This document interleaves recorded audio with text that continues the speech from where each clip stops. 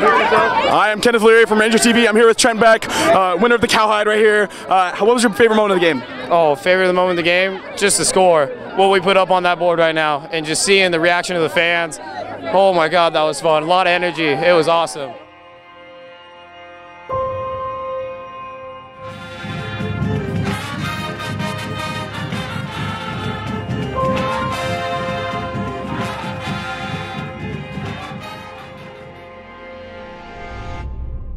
The hide, the hide, the great cowhide.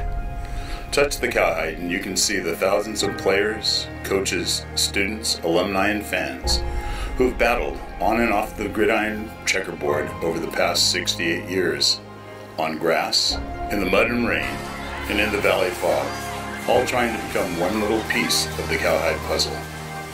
You can smell the grass, feel the power of the maroon and blue, Hear the rise and fall of the crowds, sounds of elation and disappointment, the chants and cheers of the crowd, and see the movements of the small figures on the lined field moving up and down in their intricate athletic dance.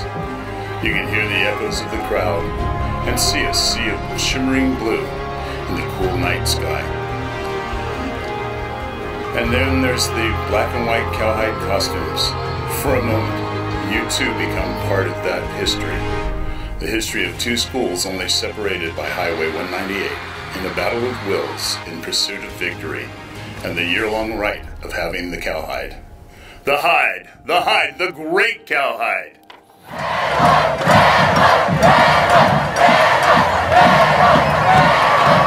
Part of the night. Well, obviously winning, number one, but besides from that, Jane Sullivan's uh, fumble recovery for a touchdown. That was a very exciting moment because they were driving, they were driving down the field, and we could turn it around like that.